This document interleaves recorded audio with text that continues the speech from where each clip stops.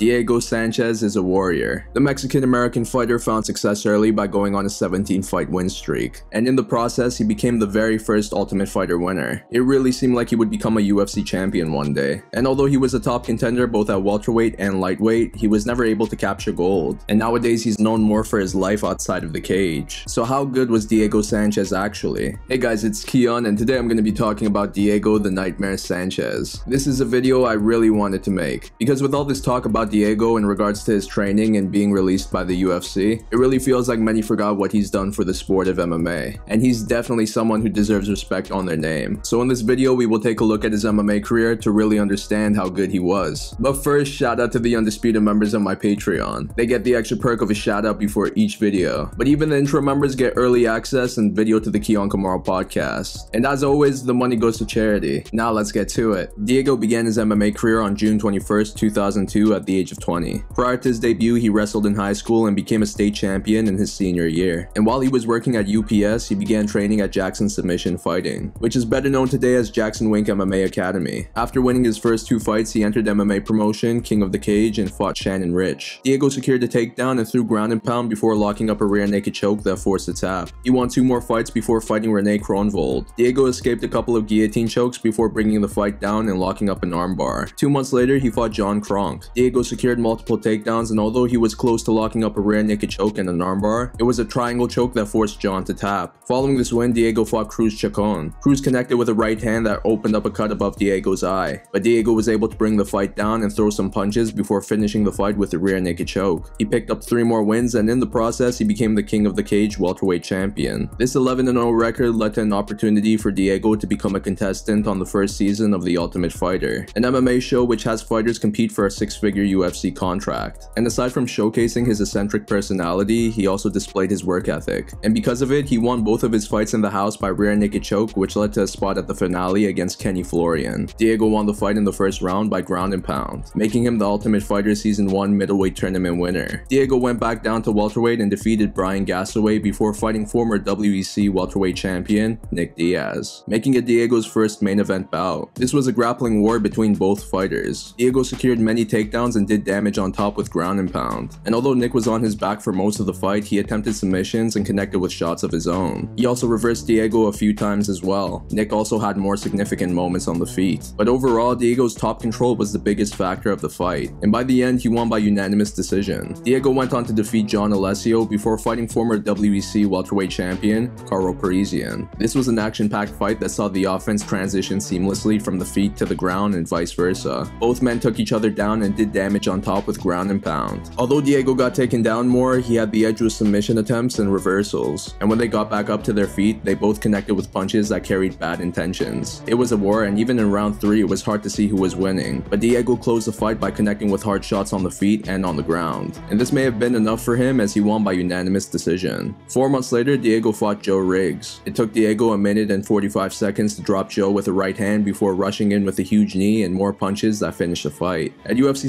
69, he fought fellow Ultimate Fighter castmate Josh Koscheck, and Diego got outstruck for the entire fight, handing Josh the unanimous decision victory, and making it Diego's first defeat in MMA. But it was revealed after the fight that he fought with a staph infection the size of a coffee cup. Following this defeat, he fought John Fitch. Although Diego threatened with submissions, it was John's wrestling and overall top control that won him the fight by split decision. Despite this two-fight losing streak, Diego bounced back with wins against David Bielkheden and Luigi Fioravanti, and after these victories, he decided to move down to lightweight for the first time in his career. His first opponent in the new division was Ultimate Fighter Season 2 winner, Joe Stevenson, and Diego's size and speed was apparent in this fight as he was able to connect with combos on the feet and avoid most of the returning fire. He also took Joe down a few times and attempted submissions. Joe was having a hard time with trying to connect, but I give him credit for eating shots and continuing to press forward. The two closed out the fight by trading bombs, and in the end, Diego won by unanimous decision. Four months later, he fought former Strikeforce lightweight champion, Clay Guida. This fight was insane. From the start, Diego was the aggressor on the feet by pressing forward and swinging, but Clay was still returning with some shots of his own. He also found success with takedowns and top control, but Diego stayed busy off his back with elbows and submission attempts. Clay also got taken down a few times as well, but when the two got back up, the wild action continued. Credit to Diego for keeping up with this pace throughout the fight, and credit to Clay for showing so much heart and not going out despite eating some bombs. But by the end, Diego won by unanimous decision. This fight was a classic and would later be inducted into the UFC Hall of Fame. These two wins at lightweight gave Diego a shot at the title, so at UFC 107 he fought champion BJ Penn. And within the first 30 seconds, Diego got dropped by a right hand. And although he survived, BJ continued to outstrike him and deny his takedowns. In round 5, a huge cut on Diego's forehead opened up from a head kick.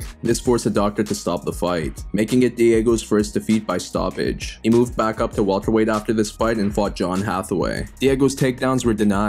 This led to John controlling the action for the entire fight. After three rounds, he won by unanimous decision. At UFC 121, Diego fought Paulo Thiago, and although Diego faced early adversity on the feet and on the ground, he began to take over with his grappling as the fight went on. By the end, he won by unanimous decision. Four and a half months later, Diego fought Martin Kampmann. These two went to war. Martin found success with his counters and takedown defense, but despite taking some big hits, Diego continued to press forward with punches, and he closed out the fight with a takedown and as the aggressor on the feet. It was close, but by the end, he won by unanimous decision. Following this win, Diego fought Jake Ellenberger. Although Diego was close to finishing the fight in the third, it was Jake who controlled the action for most of the fight. After three rounds, Jake won by unanimous decision. Diego went back down to lightweight after this defeat to fight former Pride lightweight champion Takanori Gomi. And despite missing weight and the fight being very close, Diego was able to win by split decision. At UFC 166, Diego fought former Strikeforce lightweight champion Gilbert Melendez. Despite being the underdog, Diego was able to secure a takedown and lock up a rear naked choke that looked tight. But Gilbert escaped and from that point on, he was the aggressor on the feet. And despite taking many hard shots, Diego continued to press forward with punches. The fight became a war and in round 3, he connected with an uppercut that dropped Gilbert. Diego was unable to finish the fight, but he also threatened with submissions. Then the two went toe to toe to the final bell in a fight that was for sure an instant classic. But in the end, Gilbert won by unanimous decision. After this defeat, Diego went 4 and 5 in his next 9 fights.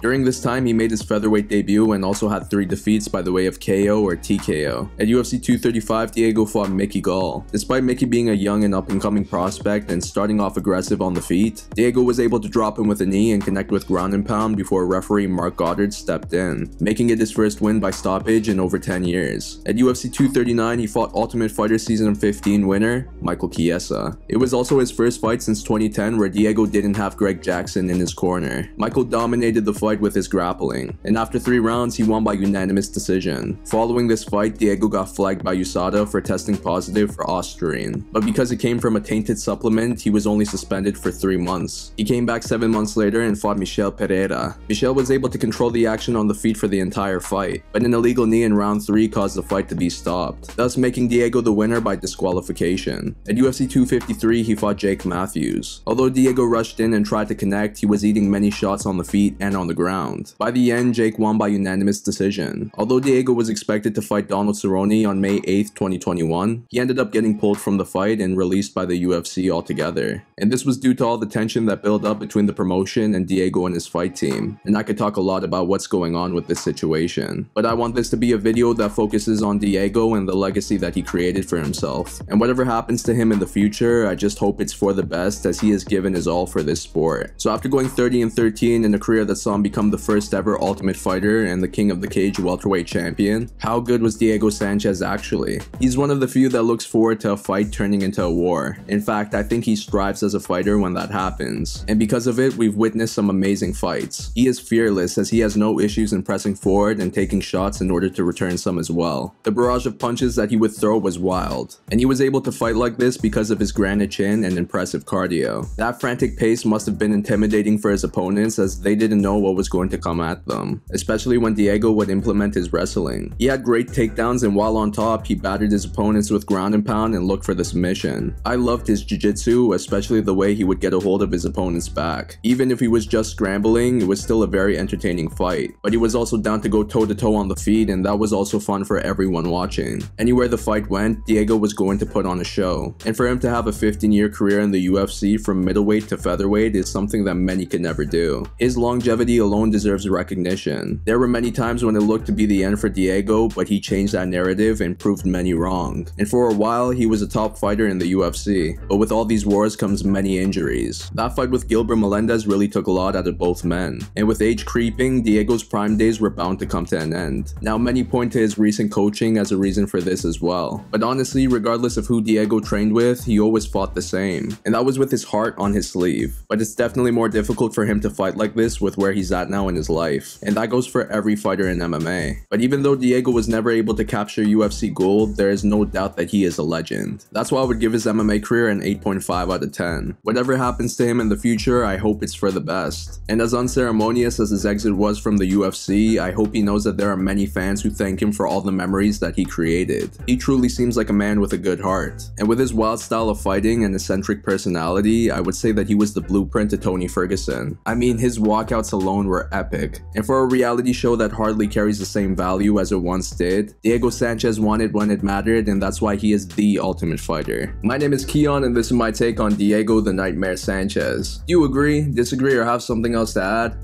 please put in the comments down below because I love to read it. If you like this video, please give it a thumbs up and subscribe to my channel for more content like this. But that's all for now, so I'll see you on my next one.